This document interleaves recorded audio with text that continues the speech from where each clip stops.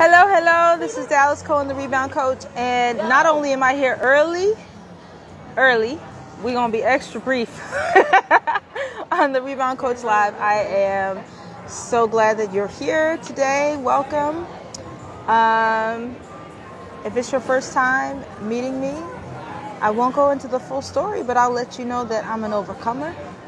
I'll let you know that I choose life, and I invite you to do the same.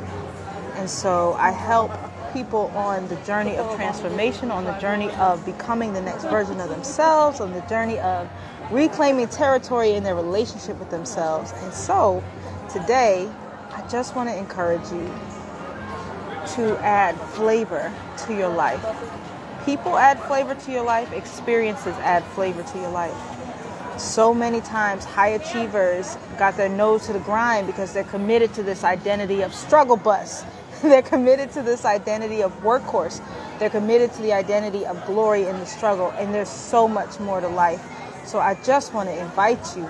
It's so easy. You don't have to um, stay stuck, right? Opportunities for joy, for peace, for love, for passion, for excitement come to us every day. And so often we say, No, I can't, I can't, I can't. Our mind doesn't find a way because we're committed to that identity of struggle. And I just want to invite you to choose life. I am in a beautiful place. Some might say the happiest place on earth with people that I love and people I am loving to get to know. Life is rich. Take your opportunity to make life rich for you. All right? That's it. Short and sweet. Have a wonderful day. And until next time, folks, choose life.